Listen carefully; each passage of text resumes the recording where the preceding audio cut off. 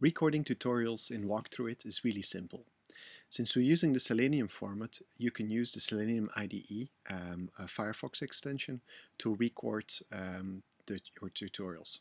Simply click all the links, uh, fill in all the fields, and uh, the IDE will capture every, every interaction that you had um, that then needs to be documented. Once you're done recording, you can go in uh, the IDE copy the source and submit it into our platform. Later we'll have an automatic API integration to make this even simpler.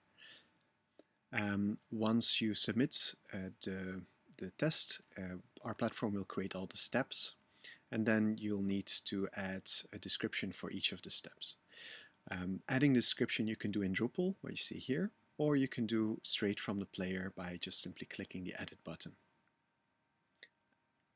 This, for example, is our iOS um, walkthrough player. And it's that simple.